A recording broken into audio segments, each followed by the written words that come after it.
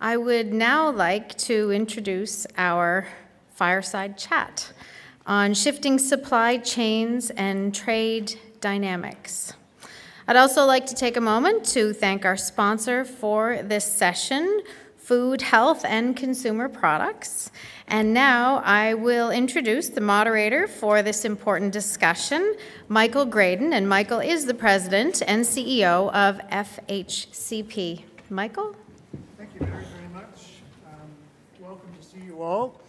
I'm, i must say, it's, uh, I'll echo the comments of others uh, earlier today. It's extraordinary to be back in public.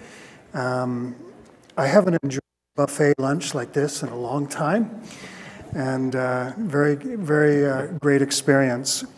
Um, we're here to talk about the shifting supply chain and the trade dynamics. And supply chain is um, it's a terminology that I think all of us live with and all of us converse in, but its priority in our conversations over the last years has accelerated quite significantly.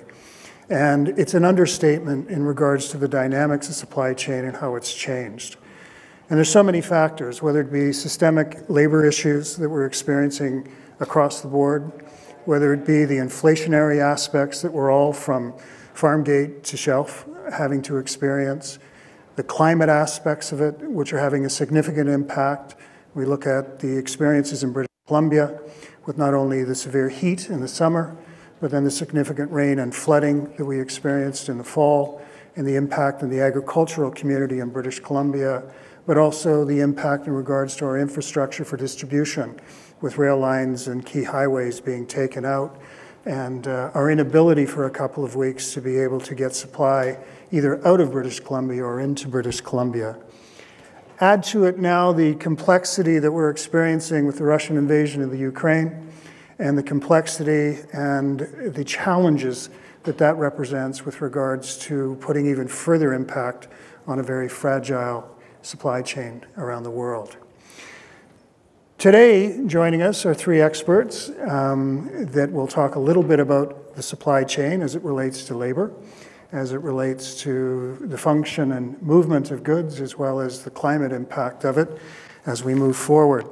Joining me to my left is Jennifer Griffith. Jennifer's been a leader in skills training, um, food, food and beverage manufacturing sector for over 20 years.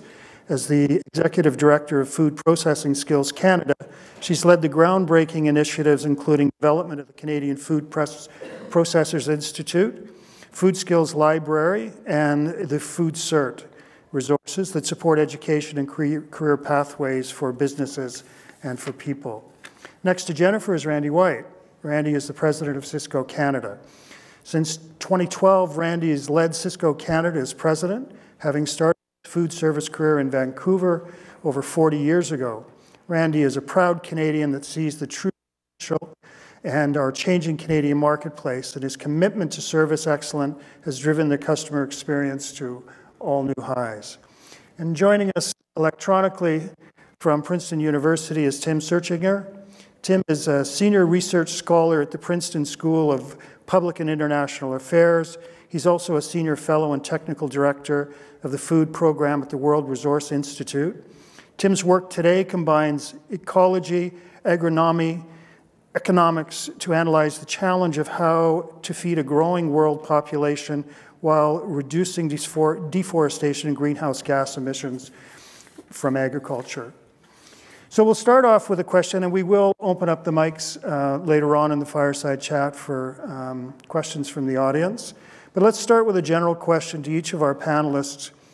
And my question is when you look at forward to 2030 and beyond, what current urgent challenge do you see as having the most disruptive effects on Canadian agriculture and the supply chains they depend on? And what does that disruption look like? Jennifer? Thank you, Michael. Thank you, everyone, for you know inviting me to be here amongst you all. Glad to be face to face as well. It's been way too long. Um, haven't had the opportunity to um, speak in front of your group before, so thank you much to CFA and uh, Scott and the team. Heavy, thought provoking questions for sure um, that they've put together for us uh, to answer.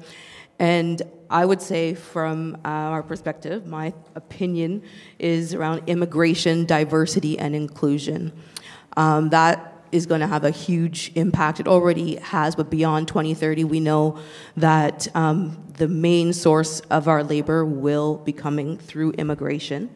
Um, and there are definitely things that we need to focus on and have some difficult conversations um, around the integration um, of that. Are transportation systems adequate enough um, to get these individuals to the workplaces that they need to get to? Do we have enough housing and support um, for them coming in? Are our workplaces ready and prepared um, to deal with uh, the variety of settlement um, services that come along with that, um, skills gaps, language barriers, and so forth. What um, are we prepared to uh, accept and delete? actually be able to house all these individuals who will be coming in um, into our workplaces. There are some mindsets, I believe, at the supervisory management level that we need to look at and adjust when it comes to diversity and inclusion um, in all facets um, of the supply chain. So it's not just going to affect processing, it's affecting ag, it's affecting food service, it's going to affect all of us, it affects our communities. Um, as we speak, schools are different, education is different, the way we teach is different, um, our landscape is fully changing. And you know, urban centers, we're obviously more equipped for that. Um, but the rural uh, areas where a lot of our uh, businesses are, um, I'm not so sure as much if they are as ready uh, maybe as we are. Randy. Randy? Can you hear me okay? How's my, uh, how's my mic? We good? Well, hello, everyone. Again, uh, it's great to be here. And like Jennifer, this is uh, an honor to be in front of all of you uh, as I represent kind of the outside, direct to uh, the restaurant and hospitality industry of the food, uh, food supply chain at Sysco. And we're, uh, we're just so grateful to all of you in the industry for everything you've been doing the last couple years in particular. And, and some of you I know have been hit very hard. We've been hit very hard. My restaurant tours have been hit very hard. I was in a restaurant last night in Ottawa, and there was two of us in the restaurant, and they are eager to get things going again. So I encourage you when you leave here, please support your local favorite restaurants. They need, they dire need your help to, uh, to carry forward. But this is a great topic, and I'm going to add to the comment on immigration and whatnot. I can tell you as a business leader, I have 6,500 employees across my Canadian organization. We're represented in every major city and a few secondary sites, and every site is desperate uh, to add people to the team. I'm right now 950 people short in my business. We pay extremely well. And it's interesting, uh, the minister was up here a few minutes ago, and I wasn't going to put the question up because I have a chance to say things differently. Um, but I can tell you that the federal government and most prov- provincial governments are not ready for us. They're not ready to support us right now. They're, they're more interested to understand what this demand is and I can tell you, it's dire, it's extreme, and coming out of the pandemic, we're going to be in a real tough spot. And I don't just mean us at Sysco, but the supply chains in general. It's already under extreme pressure. We need support and we need decisions quickly. And so I'm, I'm confident that our governments will see the light soon, but uh, any and all of you that are connected in any ways, please, uh, please understand how big of a deal this is. The restaurant industry saw 40 to 45% of their candidates leave the industry during the pandemic, and they're not coming back. They've made a decision to go in a different direction. You can ask why and all that. That doesn't help the restaurant industry. We need people, and uh, it's, a, it's a big deal. So I put that out there as, as, uh, as a topic today. The other thing that's uh, quite interesting on disruption in, uh, in uh, supply chain is that people problem is the same in the US, it's the same in Europe, and what it's doing to the supply of what we utilize, whether you're in farming or in supply chain, distribution, warehousing, and logistics, all of us, we can't get trucks, we can't get trailers. We can't invest in green technology because the organizations to do that don't exist. And so to do that, we need support, again, upstream, people, and, uh, and funding. So you think about those things. We have a lot of work to do in Canada to, to get that straight. We have great ideas, but what we, we, we forget sometimes is, is, how this all connects through the entire supply chain. Um, the other side of this is, uh, you know, the, it was great to hear some of the discussion on, on how the CFA um, and all of you are talking about a better sustainable climate situation, and, and I'm very uh, encouraged by some of the comments I heard. I'm not close to you at all, so I, am not sure how long that's been a hot topic, but we're all interested. My organization across the globe, we have over 100,000 diesel-powered distribution vehicles, and you know, if you look at that, you would think, oh my gosh, how can you be so, so disgustingly dirty to the, to the earth? It's the only way today to move goods. It's the only way. However, we announced, if you go on our Sysco website, Sysco with an S, by the way, not a C, we, uh, we announced uh, early this morning that we are partnering in the US with two major uh, producers to create the first refrigerated uh, transport equipment that is entirely uh, non-fossil fuel centered. And this is, we think that we can have this off the ground within the next 12 to 24 months, and we will quickly carry that across our organization. In the background, we've got organizations building trucks today that are green centered. But that, that whole shift is going to put enormous pressure, not only on the food industry, but all supply chain. All of us in, in logistics and supply chain are eager to get on board. We care about our planet like all of you, like everyone. And it's time now that we all kind of get our heads around this. But that transition goes back to labor. We need people to be in the, in the production sites, be in the shops, be in the, in, in the engineering rooms um, to help make these decisions, design and implement, test, and move forward with. And so these are, these are big topics, as we all, uh, we all know, um, impacting the supply chain. Thank you, Randy. Tim? I want to make sure you can hear me fine. Is that okay? We're good. Okay. Well, I, will slightly divert your question because I, I was think I was asked to really address what is the opportunities for dealing with climate change in terms of greenhouse gas emissions. But I think it relates to your question because uh, obviously all countries are under pressure to reduce the greenhouse gas emissions from their throughout their economies, and that includes in the agricultural sector. So I'll just give you a few thoughts on what I think are the opportunities and priorities that are going to basically affect things. Uh, the general concept, and we only have a few minutes, the, uh, I think the single most important factor is actually just making greater re natural resource use. So more output per hectare, greater land efficiency, greater feed efficiency, greater efficiency in the use of nitrogen. Uh, that is ultimately the single key element of the things we can do right now to reduce the greenhouse gas emissions associated with agriculture. Uh, but we have to start pivoting toward innovative technologies. Um, there's only so much you can do uh, with the technologies we have right now. Uh, we need to come up with better ones. There are lots of good ideas out there. I'll just throw you a kind of an interesting example. Um, there is uh, I know you're under pressure to reduce nitrous oxide emissions from agriculture. Uh, the, you can do that partially by having more efficient uh, use of nitrogen in crop production, and that in part by breeding, in part by different, uh, by applying nitrogen in smaller amounts more frequently, but that can be expensive. Another way to do it is to inhibit nitrification in the soil, and there are there was a recent paper published about the opportunity to do that in wheat, to breed into wheat a natural property that inhibits the turning of, of um, uh, ammonium into nitrate. Nitrous oxide comes from the breakdown of nitrate. And if you could slow the conversion from ammonium into nitrate, there are potential both to increase yields uh, and to reduce that nitrous oxide. So that's a technology, just one of many, many technologies that have to be much more seriously advanced, or, or else you are going to begin to see kind of serious supply chain issues. Um, very briefly, we're um, in our camp, we're we're doubtful that you can get huge amounts of mitigation from soil carbon sequestration. We think that's tend to be underestimated. Some of the opportunities to do that are certainly cover crops, but I'll just give you one example of the, one of the big issues is the difference between sequestering more carbon over the whole landscape versus just doing it on a field. So if you apply manure to your field, you can sequester more carbon.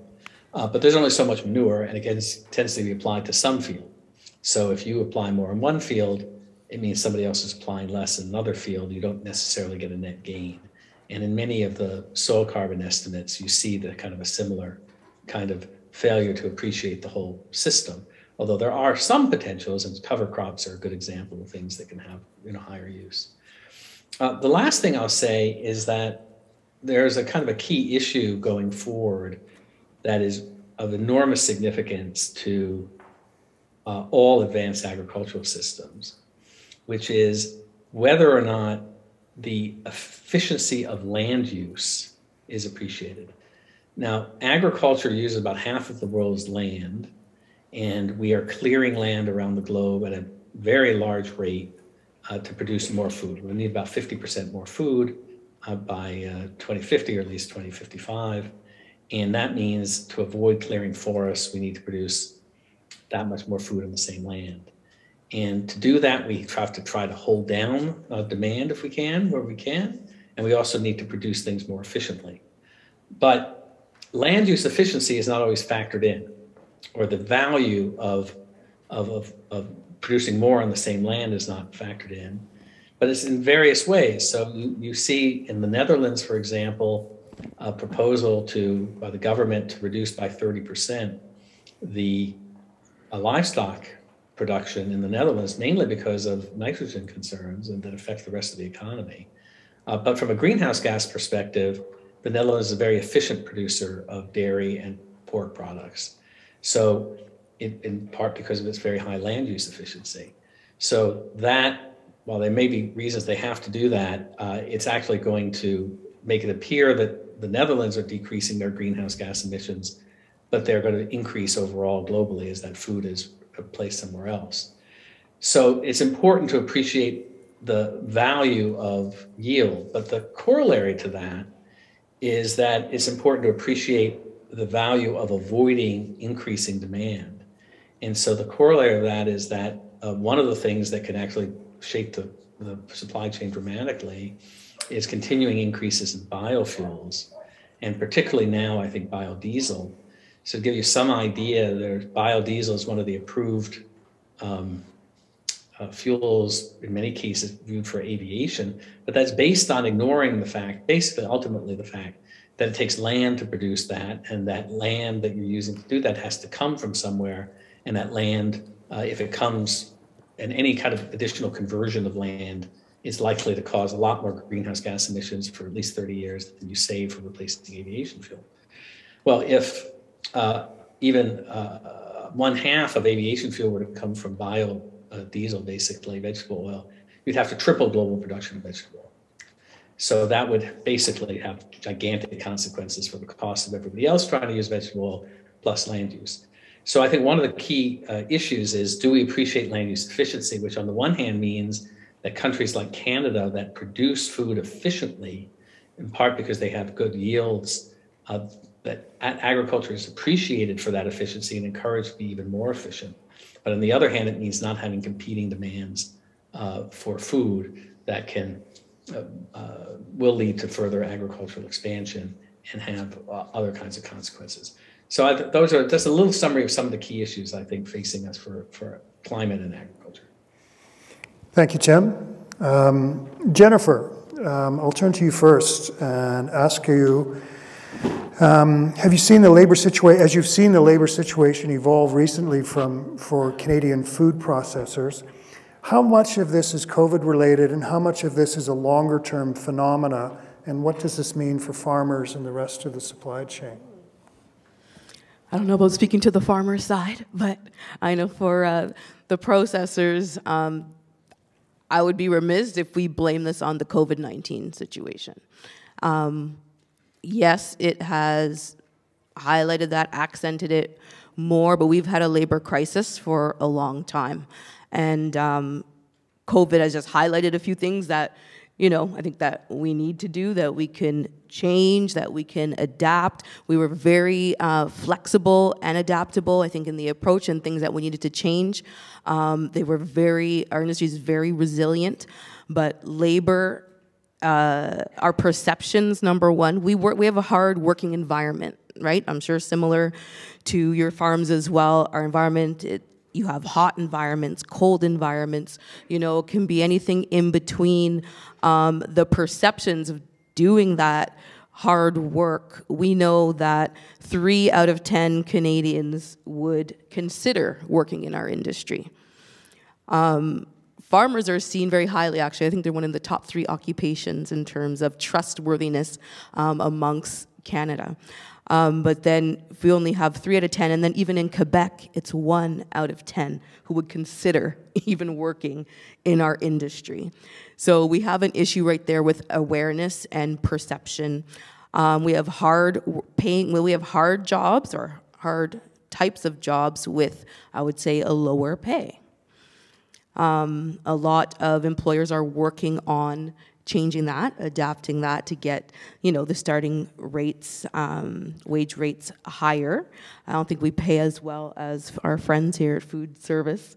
Uh, but you know we have to work uh, on that because right now it is an employee job seeker world right now uh, they have so many options so many opportunities um, you know a lot of our employees are transitioning to other sectors um, since this has happened. So they have a lot of choices with a lot of higher paying jobs as well. Um, we have to make some changes at the workforce um, workforce level um, in terms of I think the supervisory and management level skills. Are we um, dealing with the individual. We're talking about the societal piece, the well-being piece, um, the individual. Many of our supervisors transition from the line to supervisory position without understanding um, teamwork, collaboration, um, you know, having those critical conversations and so forth. So there's, um, I think, definitely some work there that needs to be done um, to ensure that uh, we can keep moving forward and ahead, dealing with these HR issues. Um, are critical uh, to keeping our people. I think there have been a lot of people that come through the door, but we haven't been able to retain them. Our retention rates are high, they're around 14%. Um, according to our data, the vacancy rate is a whole nother issue that can range from region to region. Um, I believe in our friends at the Canadian Meat Council just did a study where they have a 33% vacancy rate in Quebec alone amongst their meat processing facilities. Um, I do know that across the board we have 14%. There's some saying 20, 25%. So it definitely varies um, across regions. Um, but how are we going to tackle all of these monumental issues? It is definitely a collaborative team effort. Partnership is the new leadership. Uh, we do need to all work together um, to make any change to advance the needle um, in this area. But um, it is dire and it is critical, but it has been critical for a long time. And how do we change that going forward? Yes, please do. Yeah. Go ahead. But it, it is critical, and it's interesting. You know, if you go back 20 years ago and then 10 years ago in different parts of the country and how we were thinking about these things because there were shortages in different parts of Canada, particularly in Alberta, we saw just an enormous shortage which drew Canadians across the country into northern Alberta in the oil and gas industry, and then it went back. But what's interesting about that whole cycle is that we are not producing more people to fill the slots for the, for the production and farming and growing side, for the supply chain side, for all the industries that are very dependent on, on labor. And so we must change our immigration and foreign worker and whatever else we create to be a sustainable, positive channel for us. This country was built on that, and I don't understand why it's taking us so long as a, as a Canadian organization or Canadian um, employer industry to figure out how to get this right. And you know, we've got lots of, of special interest groups concerned about what that'll do to the country and, and all that. It's absolutely those are real things that we need to talk through. But at the end of the day, we need people. It's, it's numbers, right? So, anyways, um, we'll just, we'll, I'll pause on that. I, I think I, I'll continue to wave this flag until we see light at the end of the tunnel. We had solutions under the pre- previous federal government that got thrown out the window, and now we're right back to where we are. We have less people today, and we're coming out of, out of a pandemic, and everybody wants to build their, uh, their businesses back and their, their livelihood back because we blew it all. We had to spend it all during the pandemic, and now it's, uh, it's a tough situation. So, um, anyways, a good topic. We could talk all day on this one, but uh, uh, I think I was also asked to comment on the digitization of supply chain, and um, I will do that. It's really, it's actually an exciting, positive topic as we think about where we were two years ago this month and where we are today. As you, as you think back to the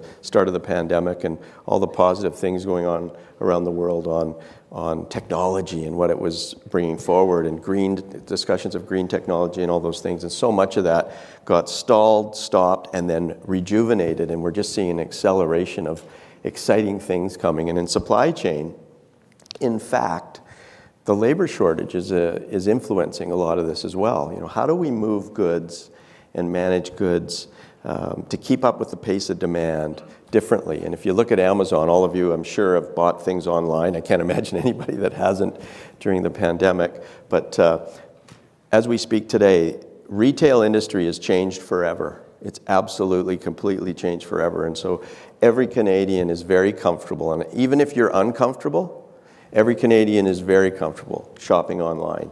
Uh, if you're uncomfortable, you're more comfortable today than you were two years ago. I guarantee it. And most Canadians, it's the only way they shop. What that's giving us is um, incredible demand data, real time demand data. And as we're aggregating this data as business, we're starting to ask others out in industry and in association groups to collect data and bring data together so we can understand upstream where the signals lie on, on supply chain so we can lower our inventories, be more efficient. And I think of the farming uh, communities and understanding how that makes its way all the way back to Prince Edward Island, wherever our gentleman from PI is, and talking through how to get signals right so that crops meet demand and don't miss the cues that come through digitization. It's absolutely the answer.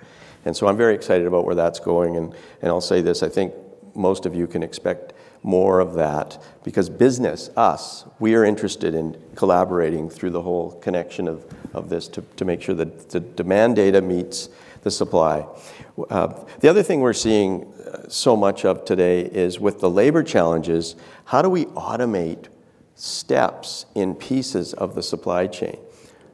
So it's interesting to hear Elon Musk, and you've, most of you have heard of Elon Musk, who created the, uh, uh, the first commercial electric uh, automotive industry, and uh, it, with the Tesla uh, brand. But it's interesting, his passion around driverless vehicles that scares the heck out of all of us.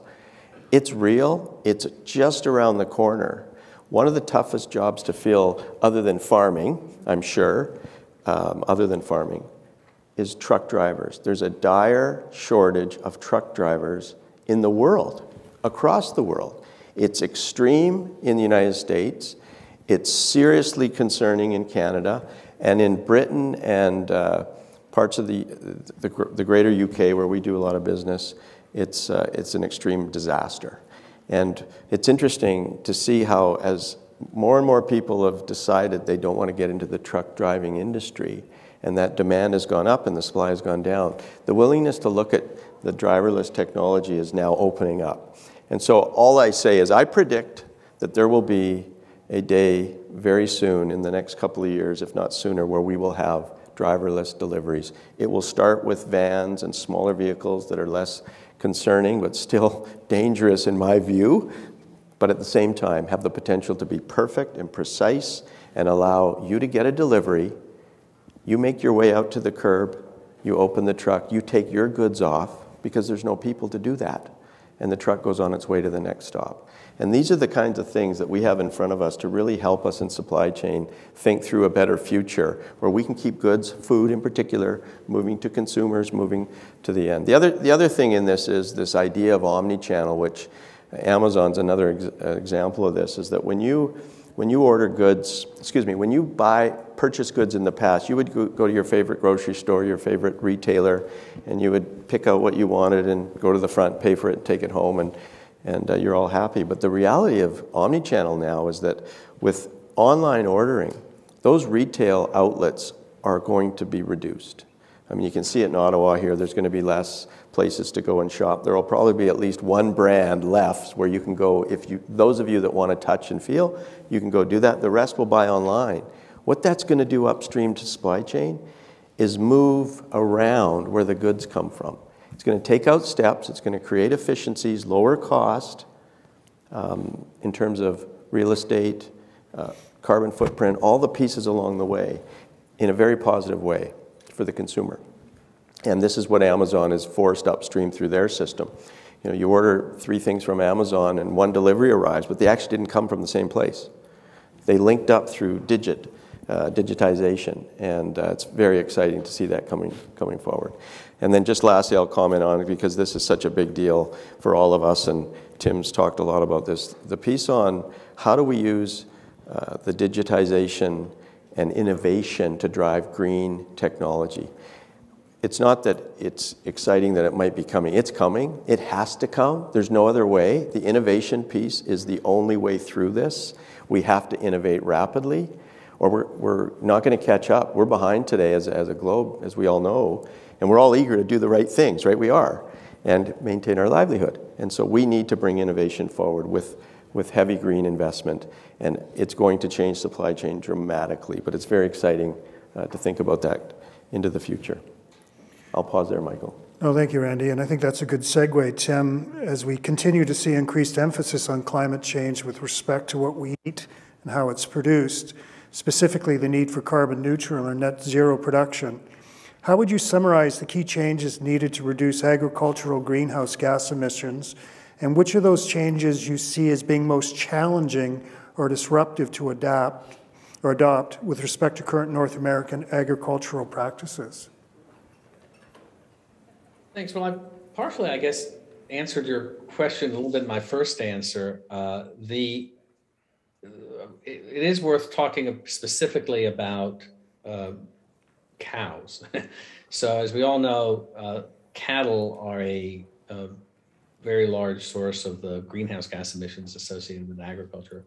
Globally, about 50% of the greenhouse gas emissions with agriculture are from ruminants, and that's in for methane and also some of the uh, nitrous oxide from the urine they deposit, a little bit from manure management, and particularly in dairy systems, but also pork, of course.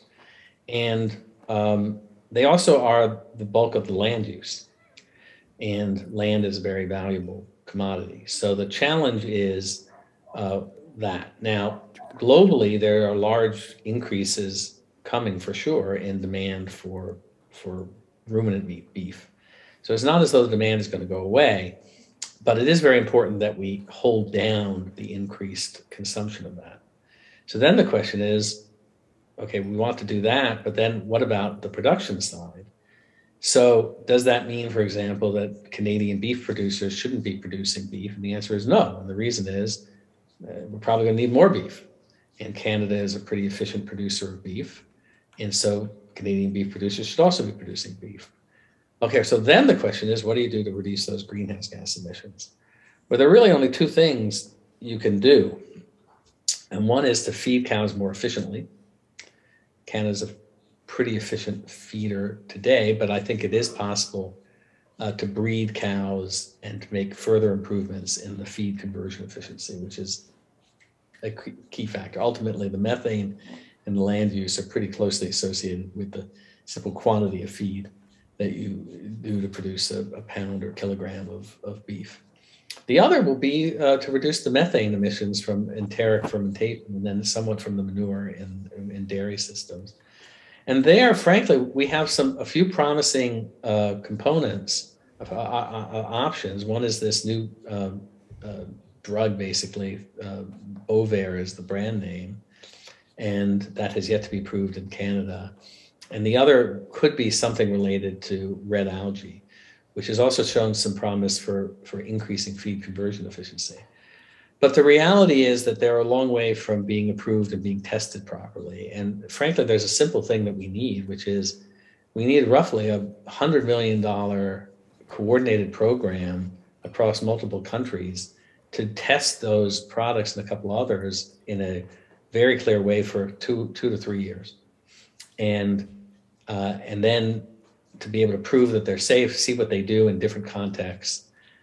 And that's an example, though, of what we're lacking. That's really all we need, uh, or at least for, for now, um, about $100 million globally.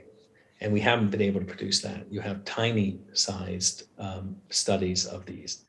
So I would say that. And then on the, on the manure side, there has been too much of an emphasis on biogas, mainly because it's just expensive. Uh, and it's particularly expensive as a mitigation technique in colder environments like Canada. I did a big report in Denmark where the, the level of methane coming out of the manure is smaller than it is in, let's say, North Carolina. So we need cheaper options. And there are cheaper options. Well, acidification is one option.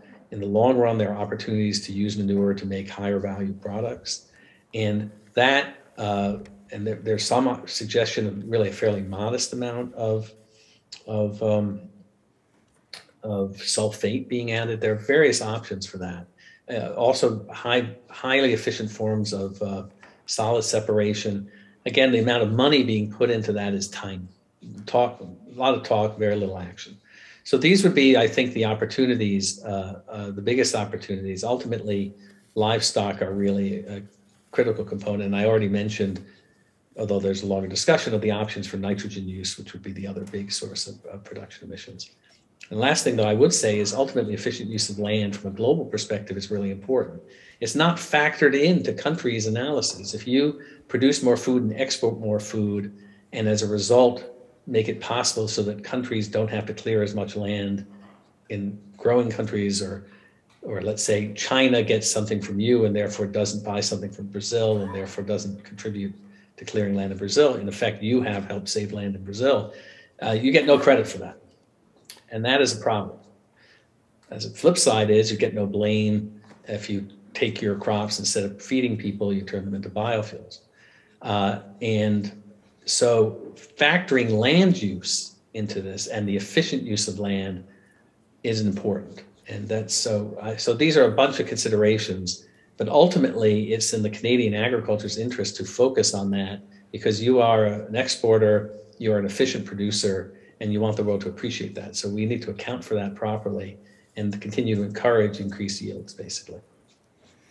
Thank you, Tim. We'll um, open it up to the audience. If you have any questions, please um, come to the mics.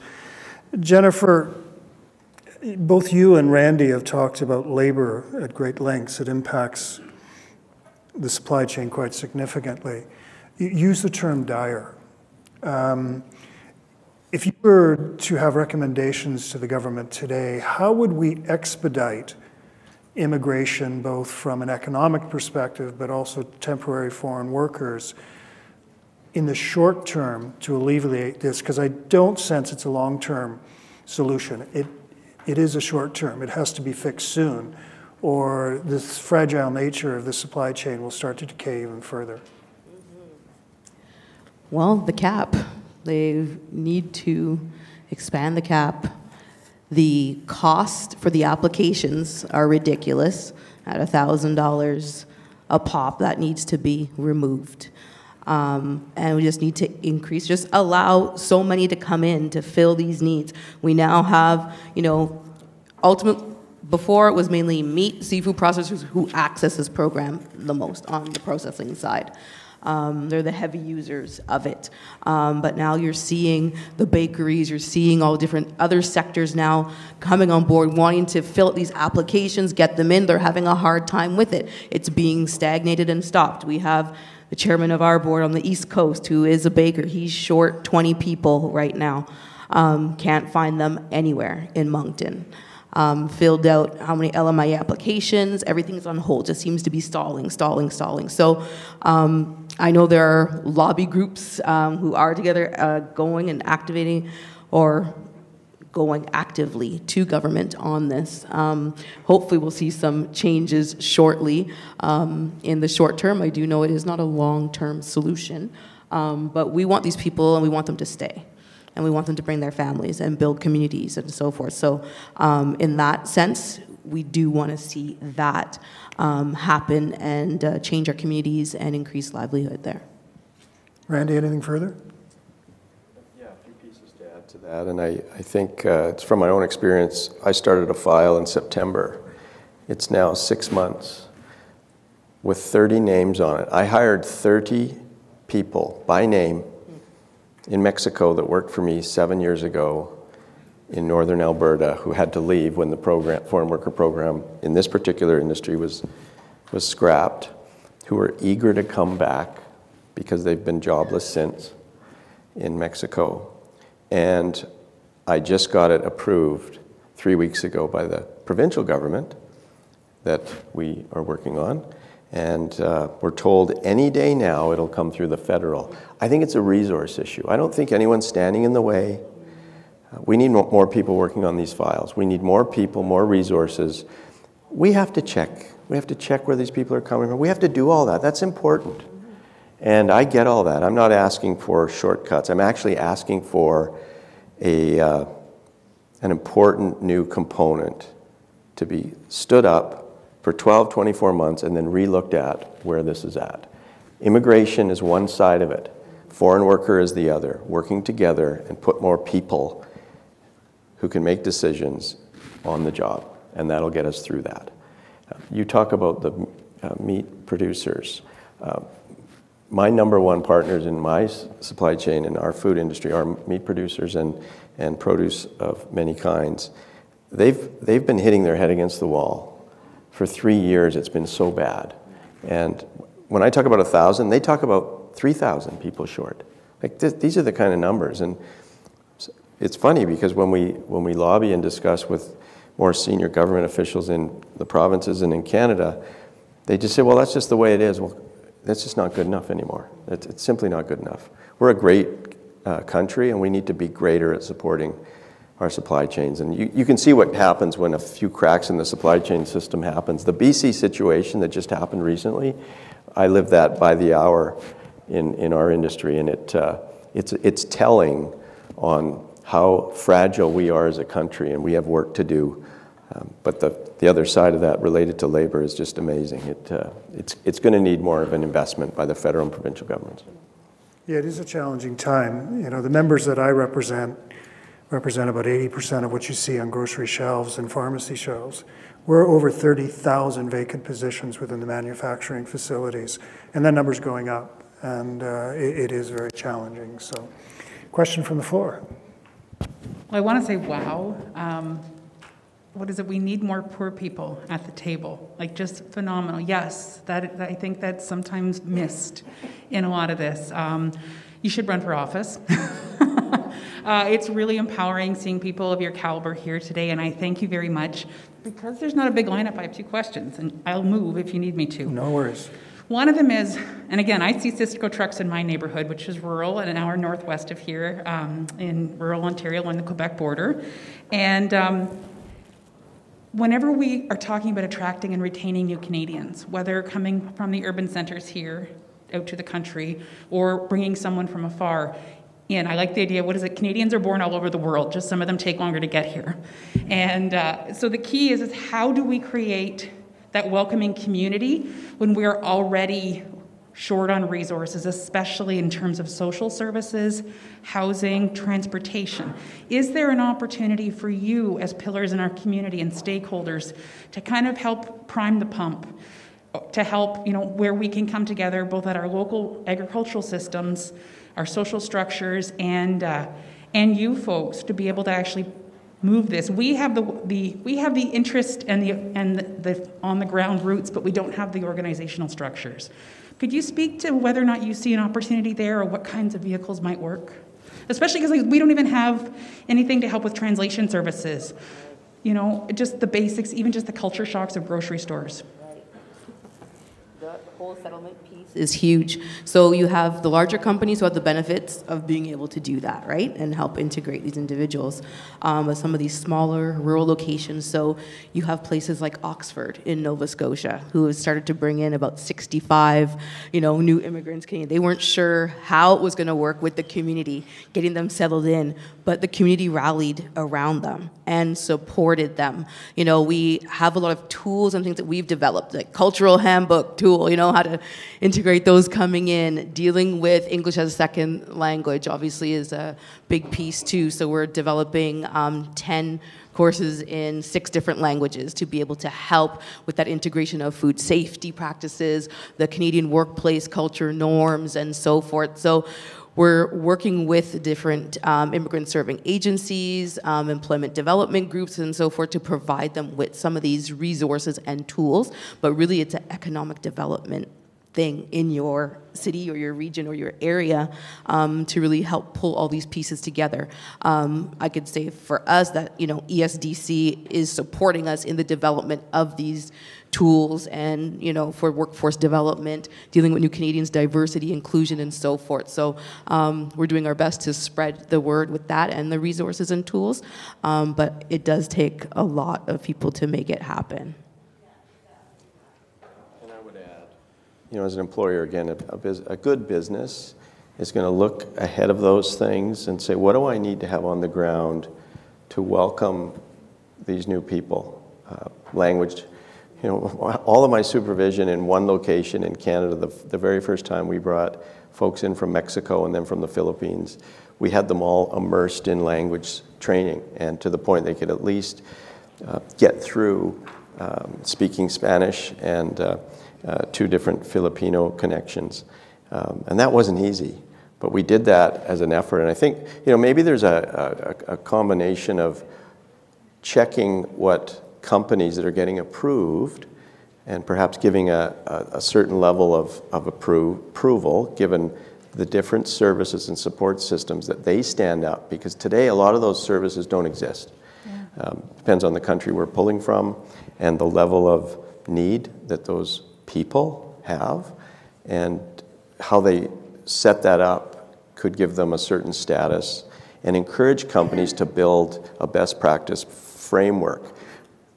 At one time, I rented 95 condominiums in Edmonton, and at no cost to the new Canadian, put them in them, and we held those for one year, and then we found out they weren't good at cooking on a you know a standard North American stove, so we brought them in different ways to do things. We learned along the way. I think we're a good employer that does good things and adapts well to what we need to take care of our people. And I know by the retention of those people that they wanted to stay. And so I, I, don't know what the right answer is, but I think we need to talk about these things. I think you need to put it on the employer, somehow on the employer. And when I say you, I mean us as Canadians, the government of Canada, the provinces. Put it on the employer. It's all co the cost of doing business. Some people will not agree with me. Smaller business people will not agree with me. This is what it's going to take. And then maybe we can find a way as communities grow and populations grow they stand on their own. They stand on their own and they support each other and they're on their way, just like we were on our way and our forefathers were on our way at some point along the last couple hundred years. And it all fits into that. The other thing is, I think you need to talk about it loudly if there's issues developing. And, you know, I think that's what Canada's all about. Put, put it out there, get, get it out in the media, talk about it, challenge the government and business. Don't close the door. Challenge the issue, not, not the demand, right? And that's, that's what we need to do. We do have someone, so I'll just okay. ask a, a quick question. Yeah. And it was simply a lot of the staff that we do have now are all having to do way too many jobs, and our resilience is already tested, yeah. both at the management level and at the floor level. How are you managing this, or is this something where it's quite likely we will see more upheavals and just try to re- reattract people? Like, do you do you try to stem the bleeding, or just accept that this is a process that may be happening everywhere, and and we'll just try to build build it back better? Not to take any politic slander or anything like that, but just kind of curious about how you're perceiving this, and maybe it's a bit of both given the scope of your businesses. it's a two-edged sword. you know, like you, you have to deal with both at the same time. I don't think it can be one um, or the other, right? So yes, companies, they, they're gonna hire, you're gonna do your interviews, you're gonna do the same thing they've always done to get people and attract. But what about the ones you currently have? You have to give them some security. You need to give them an opportunity for continuous development, improvement, um, you know, be flexible. I think there was um, an article that just came out in the National Post last Friday about what employees are looking most from their employers was flexibility during this time? Are we flexible um, at our current work environments? I know, you know, we have the lines to run at certain times and so forth, but is there a way to be more flexible?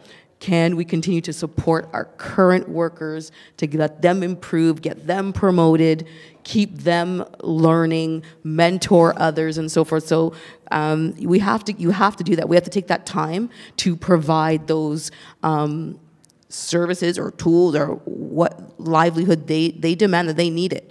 So it takes a lot of support. We are doing that currently um, with a pilot in the East Coast where we're training on emotional intelligence skills with supervisors, frontline workers. Um, we have over 400 supervisors enrolled in this program and it's working. They're seeing the changes on the floor. They're seeing the communications happen better. Um, the supervisors are realizing, okay, what's so important about happiness or active listening or empathy? And they're actually trying it out on the floor. They're hearing from their coworkers. They're listening to them. They're not just dismissing them. So but it does take like that's the support from the government that we're actually able to provide these companies with these resources and tools. But the hand holding is a lot it's one-on-one -on -one support with each of these companies who are on board with that. Thank you jennifer. Hello, um, my name's uh, Rudy Meyer from the BC Ag Council.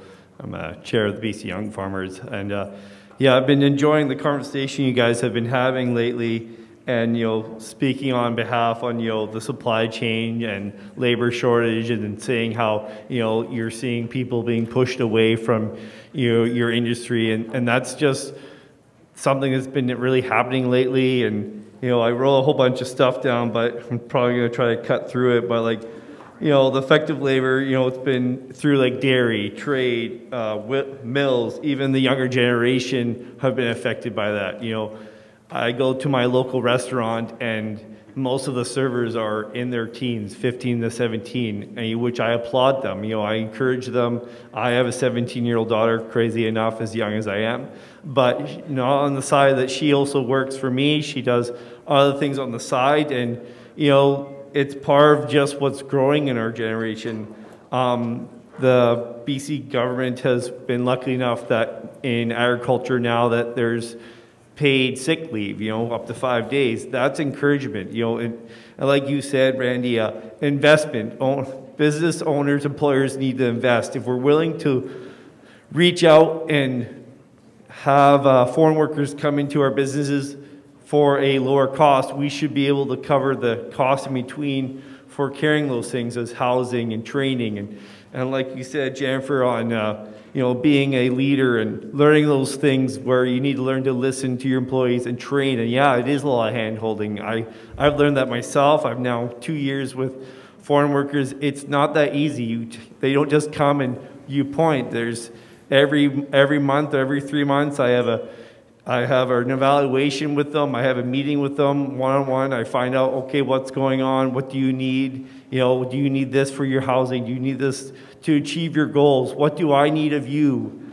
Um, um, Tim, you know, I was look, listening along you about uh, Greenway and accessibility with propane and natural gas and things how we are looking for ways to run a different fueling system. Of course, agriculture is 99% by diesel. Everything's run on diesel. You know, we see this year that the fuel costs are increasing, but trying to find a way where we can mitigate um, natural gas to be sub subsidized into that system for heating or, or cooling or even generating trucks to pull things around for deliveries would be uh, exciting. Um, you know, partnering with businesses such as Fortis and BC Hydro or Hydroelectric in order to regenerate methane electricity be put back in the system.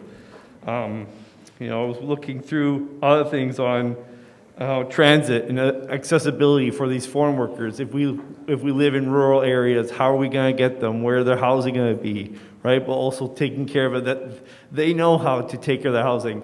It's uh, funny that you mentioned that, Randy, about condos and having foreign workers.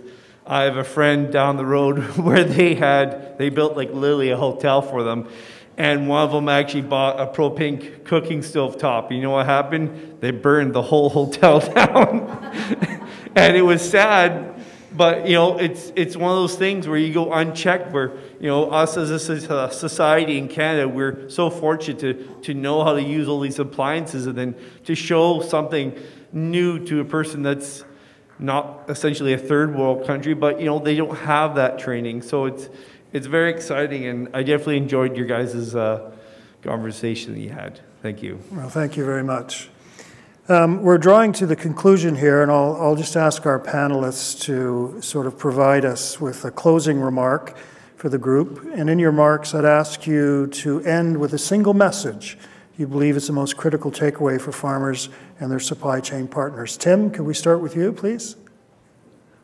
Not sure I've offered a lot of good advice on the supply chain, so I'll defer. That's really the focus here. I'll defer to my co-panelists. Okay, Randy?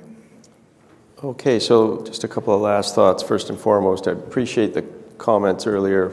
I've forgotten your name, I'm sorry, but uh, it's great to see young farmers represented and uh, I encourage uh, many more to follow with you and, and be great. We, you know, as I opened today, my comments around, I, am so grateful at the Canadians that produce, um, and I say that specifically. I actually think it's exciting that there are trade wars going on because I believe that made in Canada is going to become a big deal. It's, uh, it's, it, you know, with the free trade agreements and all the different things that have been going on in the last 30, 35 years that many businesses were pro and excited about because it lowered input costs to a certain extent. We've traded away so much of our, uh, of our production, and I'm so excited about that. we can't do it without labor, we know that. So key takeaways is made in Canada is something that we need to be open to, I believe that, and I encourage you to really you know, increase your agility on, on foreign workers, on immigration, and um, doing more at home and considering what that means to our great country. It's, uh, I think we're heading into another era of, of more independence as a country. And so this, the impact on the supply chain will be very significant, but, but positive at the same time. And then second, the uh, willingness to move faster on climate changing technology improvements that we just simply must experiment with, not wait and see. We don't have time anymore to wait and see. We need to get on with things. And it's simple as that. And so, you know, how do, how do we do that? So it comes with willingness and agility and, and uh, belief that we have to do something. So I'll, I'll end at that one. Jennifer? I'm excited about where we are at, where we are right now um, in this time. Change is inevitable, but change starts with us at the end of the day. Wherever we may sit, wherever position you might be in, if you are in government, whichever government department, the minister's office, so forth, what can you do to start this change? What can we do to affect policy change? Um, what can we do from a skills development perspective? What type of resources, tools, what can we do to start? Let's just get going. We're tired of this talking, talking, talking. It's constant talking. We have these meetings, we come out with these numerous reports, and what happens? Do we have the action that follows through um, with it? So, you know, we can all it's all time for us to pull up our socks, work together. Change um, starts with us, and we have the solutions. Well, it's always perfect to end on a positive note with positive comments. I think there is uh, some true optimism. It is time for change. The toolkits that we had in the past don't work anymore. Um, renting condominiums and building hotels to house workers, um, those types of things are, are very, very critical. I would suggest, Randy, that Made in Canada is already here. We have a worldwide reputation for some of the best agricultural and produced products in the world, and it's a tremendous opportunity to leverage as we continue to move forward. I know from the industry that I represent, what we do need to do is incentivize more manufacturing in this country. We've lost a lot of manufacturing over the last 20 years, and the abilities to be able to take the riches of our agricultural um, output and process that for Canadians in a more self-sufficient way um, is a real opportunity, I think, for this country. And as we start to look at a lot of the protectionism that's going on, especially with our neighbors south of the border, the more self-sufficiency that we can build into this country, I think we will then have more food security, which also is an important aspect in regards to moving forward. My sincere thanks to Jennifer, Randy, and Tim, and thank you very much um, for your time joining us this afternoon. Thank you.